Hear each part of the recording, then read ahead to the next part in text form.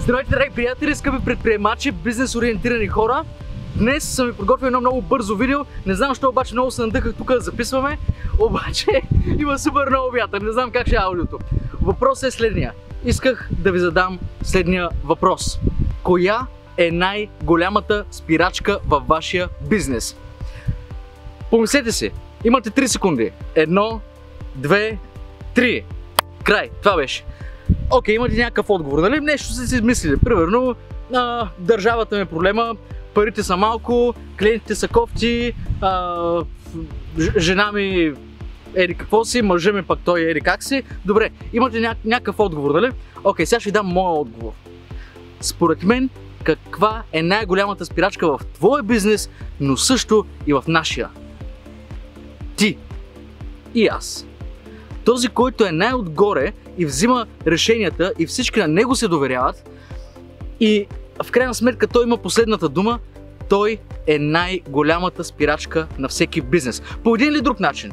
Дали предприема прекалено рисковани действия, дали е прекалено консервативен, което е още по-често срещан проблем. Не знам, но всеки шеф е най-голямата спирачка за собствения си бизнес. В мой случай, нека бъдем искрени, в мой случай, коя, как, какво в мен спира нашия бизнес? Ами това, че аз винаги съм с хиляда идеи и действам на хиляда фронта и в крайна сметка понякога в края на месеца това, което е трябвало да бъде свършено, има някакво забавене и всички останали са чакали мен и аз съм този, който ги е забавил. И за това сме предали крайното нещо с някакво малко закъснение, което за клиента дори не е проблем. За клиента не е проблем това. Проблема е за нас, защото искаме да сме точни. И в крайна сметка, как така? Аз искам ние да сме точни, а пък ние не сме точни заради мен. Давате ли си сметка? Аре сега замисли се. В твой бизнес какво правиш? Защо? Защо до сега може би не си замислил, че ти си най-голямата спирачка? Дали не си прекалено консервативен? Дали когато някой, който работи с теб, ти дава идея, ти отхвърляш, защото си мисли, че той не разбира нищо? Дали пък прекалено много идеи в главата ти и се опитваш също както мен да, да направиш хиляда неща, да огрееш навсякъде и все не ти се получава, защото е невъзможно. На практика е невъзможно. Кое е нещото вътре в теб? Кое е нещо в твоя характер, което спира бизнеса ти? Замисли се. Идеята на това видео, когато започнах да го записвам, беше да ти кажа, че ти си спирачката. Обаче сега ми хрумна една друга идея. Да ти кажа как да разрешиш този проблем. Защото аз съм започнал да го разрешавам и доста добре се справям с това. Знаеш ли как?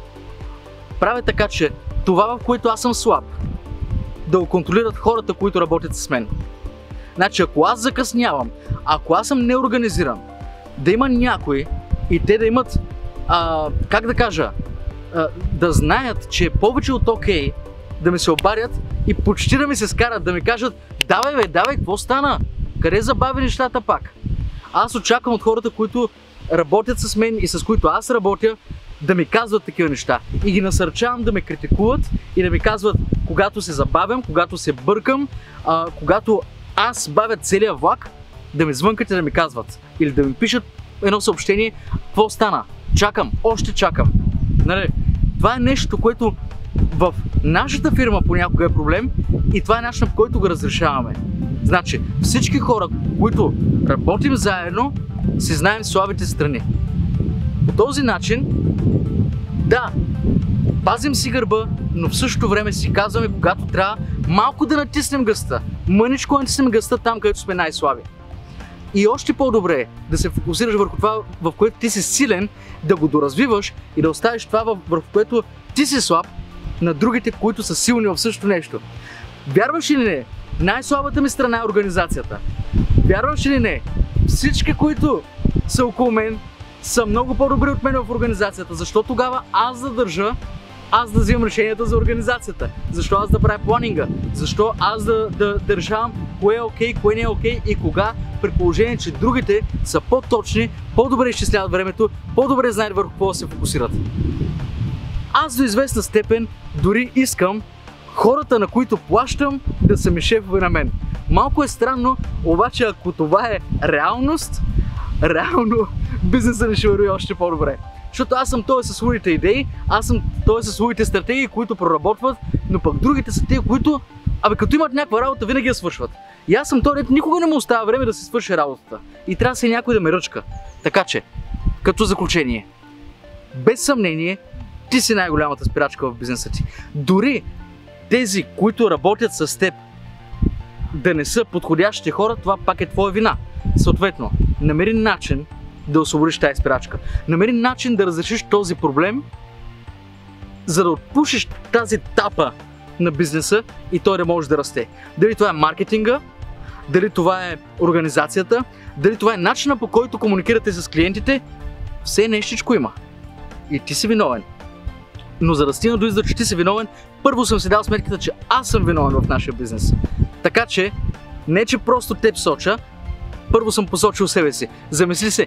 И супер интересно ще ми бъде, ако ми оставиш в коментарите до какъв извод си стигнал. Коя е твоята спирачка?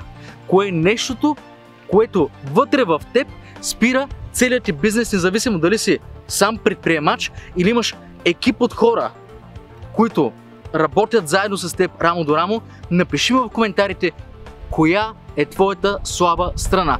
Кои са твоите спирачки? Супер много ще се изкефя. Окей, това беше за днес. Ще се видим в следващото видео и до нови срещи. Чао!